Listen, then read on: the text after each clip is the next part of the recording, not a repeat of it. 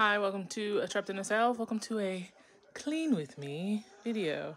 I've actually already started um, looking for a computer and I can't find it. So yesterday I tore my room up looking for it. And so today I'm trying to put it back together in hopes of finding it. So come along.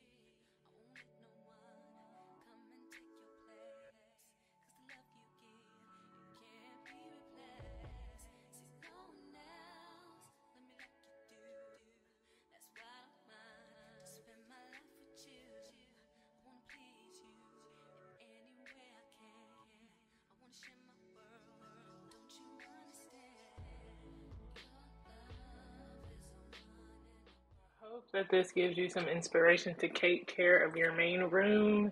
And even when you're looking for something and you have to tear it apart, that you can put it back together because we all deserve clean spaces and organized spaces.